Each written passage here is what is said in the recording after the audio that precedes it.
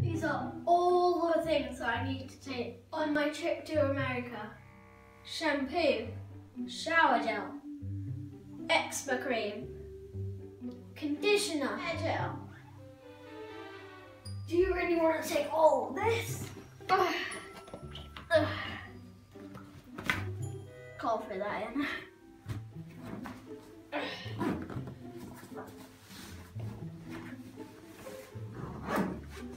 or fill all the stuff you need into these DoddleBags.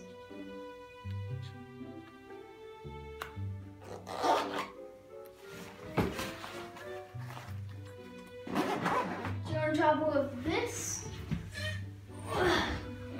or this?